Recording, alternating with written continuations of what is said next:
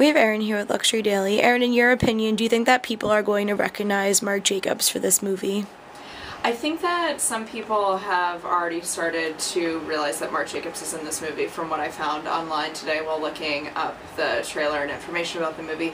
But I think that people that really don't know who he is won't recognize him. Um, they may recognize his brand name, but I don't think that he's that well known outside of the fashion community to actually be pointed out in the movie, and especially with such a small role that isn't typical of him. Um, I think it might be hard um, to actually realize who he is.